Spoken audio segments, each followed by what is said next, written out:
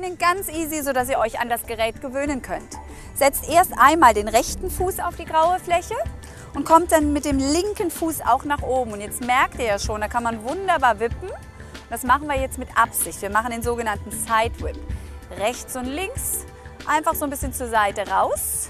Und dann hört ihr schon, wenn ihr ganz weit geht, dieses Klacken.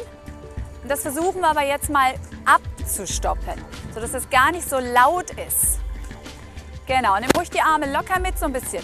Rechts, links und rechts, links, rechts, links. Genau. Noch viermal, dreimal. So, und jetzt wird schwierig. Dreimal. So, und jetzt wird schwierig. Wir halten in der Mitte. Stabilisieren. Nimm mal die Arme nach vorne. Versuch so ruhig wie du kannst oben zu stabilisieren, zu bleiben. Gut, Schultern locker. Und wir wippen nochmal.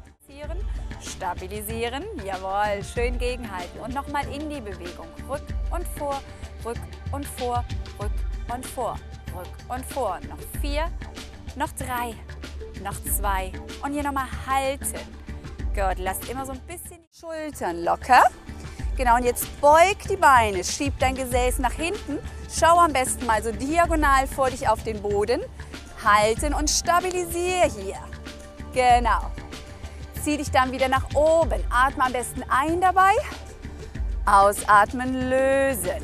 Sehr gut. Gleich nochmal hoch. Einatmen. Schultern locker lassen, ausatmen. Gesäß schiebt zurück. Stabilisieren. Du merkst, jetzt wackelst, wenn du nach unten gehst. Halten hier. Genau, schieb das Gesäß nach hinten. Wieder aufrichten, einatmen. Und ausatmen, lösen. Wunderbar. Noch einmal den Turnaround. versuchst du vielleicht mal ein bisschen größer zu werden. Knie und ruhig, wenn du willst, auch die Hüfte mitzunehmen. Sehr schön. Turnaround. Super gut. So, bleib in der Mitte. Stabilisieren. Ah. Jetzt ziehst du einmal die Arme hoch und versuch mal, deine linke Fußspitze vom Boden zu lösen. Stabilisieren. Jawohl, sehr gut. Halte noch ein bisschen. Ausbalancieren über den Fuß. Du merkst auch, deine Rumpfmuskulatur arbeitet. Und senk dich langsam wieder ab, locker lassen. Genau das gleiche natürlich auf der anderen Seite.